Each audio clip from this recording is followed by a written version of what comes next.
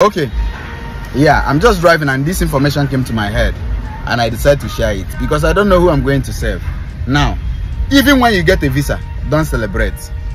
Yes you want to travel abroad you've done the necessary processing and you get your visa. Don't celebrate yet. Ask me why. You know that many people in nigeria now have applied for visa and they have even gotten their visa but they did not travel. Why? Now i'm going to tell you a few things that can cause you to be to be in nigeria even when you get your visa. Okay. Don't celebrate one when you get a visa to travel outside the country until you buy your ticket. Okay. Buying the ticket is not the main problem. You must have gotten your ticket but are you in the country that you dreamed of being in? Have you reached your destination? Have you crossed over? No.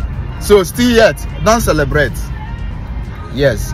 I am going to tell you a few mistakes that we do when our visa is out now let's say or let's assume you applied for a visa. Agent called you and say my visa is out though then they send you the they send you the the the visa. You start uh, shouting you start telling your friends your visa is out this or that. Okay let me tell you common mistake. Telling those your friends sometimes can endanger your traveling.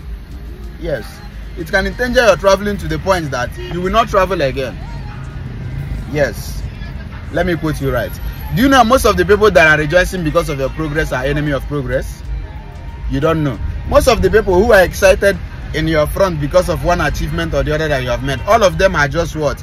They are just happy facially but deep down their hearts they are not happy because nobody wants to be nobody wants the other to be better than him. Yes. Nobody wants each other nobody wants another person to be better than him. Meaning that everybody that comes to you rejoicing and celebrating your good news one way or the other they might not be happy unless the person is a genuine and good friend. Okay let me tell you again. When you get your visa you buy your tickets. Still don't celebrate until you reach the country of your choice because most of the people who travel abroad are being deported back to the country. They can be deported at the port of entrance. What is port of entrance? Port of entrance is the crossover between the outer the, the, the just like a, a, a, it's custom clearance it's like custom. You have to cross them over to enter the country that you are going to.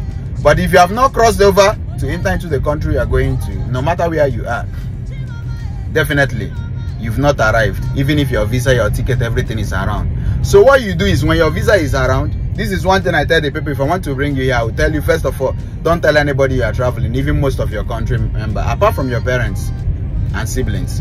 Because when they uh, when you travel two things are involved. It's either you cross over or you are being sent back to nigeria. Number one you can be sent back to nigeria in many ways for many reasons. Maybe the visa is not valid. Maybe they did a uh, Adiboroja visa for you. Maybe the agent does not have a good contact to cross you over. Maybe something happened. Maybe it might be a bad day. Maybe everything is correct but it might be a bad day in the airport. Then they decide to send everybody coming back back to his country. Then it might affect you so anything that makes you to celebrate while you have not crossed over yet automatically is putting you at risk. Yes it's putting you at risk. The only time you celebrate is when you cross over to the country. Yes these are common mistakes that people make when they want to travel. Just because your visa is out you start shouting you start uh, rejoicing that you have traveled. No that is the only time you have to enter into prayers. That is when you have to start praying. Yes you have to start praying for your visa to take you to where you want to go because when you get to the port of entrance the custom control they might stamp you back to nigeria or back to where you are coming from. That way you are now in another mess. You go back to square one. And those people that you have um do, do whatever thing you did with them because of your traveling you will not come back to them. But if you manage to do it and you reach there and it didn't work out definitely you can go back and pretend like nothing happened and nobody will know. So these are common mistakes that you make when you want to travel abroad. So i will urge you not to do that again. If anybody knows that his visa is out or he wants to travel don't rejoice yet. Pray and believe that it will only get better until you get to the country you want to travel to.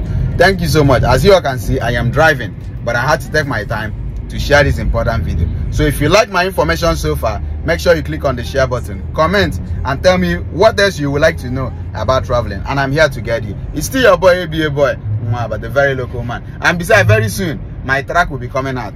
My song will be coming out. So make i fully hit my chest i be musician. God bless the emperors, the great personalities.